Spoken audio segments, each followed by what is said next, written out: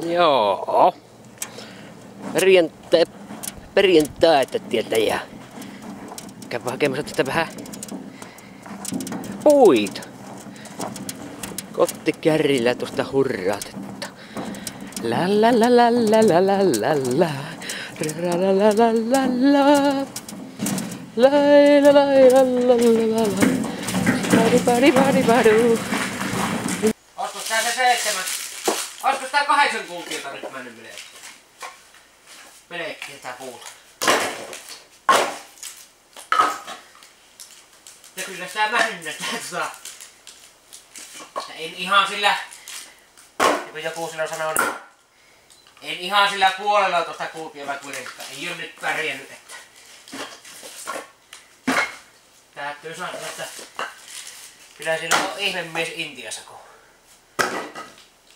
lämmittelee koko talven nipulla tuosta kuutiota saa 44 taukoa.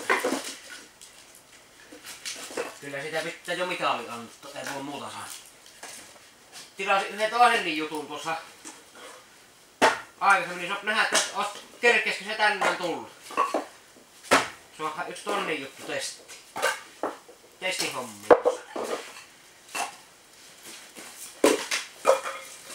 Se on kanssa mielenkiintoinen. Mielenkiintoinen juttu. Tutkitaan sitä sitten tarkemmin.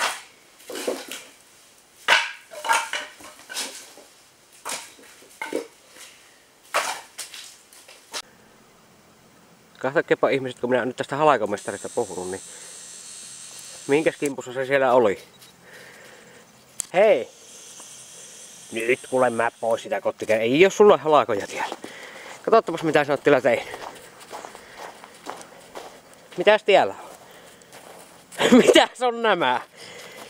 Mitäs on nämä tiellä? Ja tämä.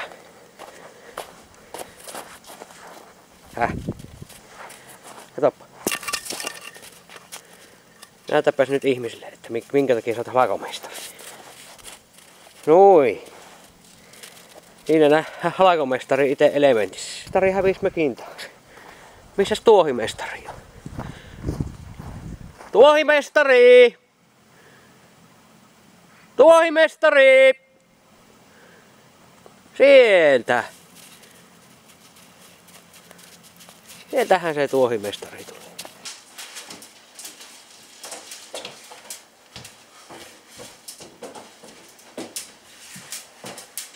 Täältä se puulähetys tulee. Ei tässä ruveta niinku kantamaan näitä yksitellen. Täältä se tulee